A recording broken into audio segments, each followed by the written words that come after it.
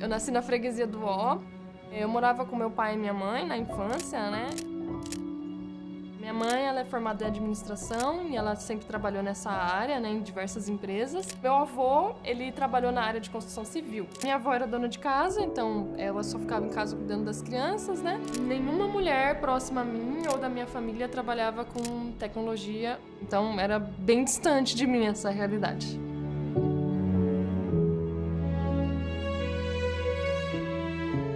Eu não tinha nenhum pensamento em relação à área de tecnologia porque eu não via isso à minha volta, né? O espelho é o que a gente precisa, né? A gente tem que olhar e conseguir se enxergar ali. Quando eu comecei a faculdade, né, tinham poucas meninas na sala, na verdade eram só duas, né? Você olha pro lado é só um menino, do outro também. Com certeza é uma área para eles, né? Não tô me encaixando. Então bate aquela insegurança.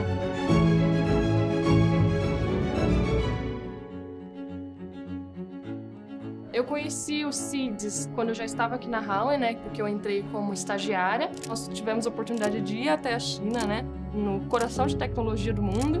A gente veio notícia de novas tecnologias, a gente veio o pessoal falando de 5G, mas o Cities for the Future ele te insere nesse meio. Ir para lá e ver isso ao vivo foi muito importante para minha carreira, foi uma diferença enorme assim. Eu jamais teria essa oportunidade por minha conta.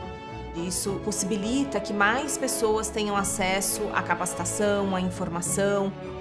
A gente tem que dar oportunidade para as pessoas para trabalharem, para escolherem, para desenvolverem e é importante para trazer mais jovens e também mais mulheres para a área de tecnologia.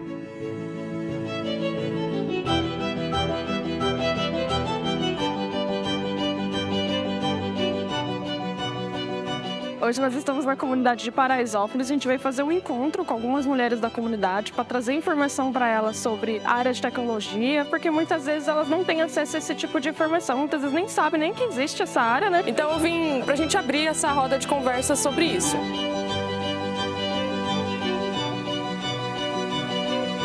Eu vim aqui mostrar para vocês que isso é possível inclusive, a gente tem muita falta de mulheres. Eu gostaria muito de ver mais mulheres no mercado de trabalho. É uma área que atinge todos os âmbitos e é com a intenção de melhorar a vida das pessoas, de melhorar tudo ao nosso redor. Isso que é o bonito da tecnologia, né? Eu acho que o caminho é continuar abrindo portas para cada vez mais mulheres quererem entrar nessa área de trabalho também.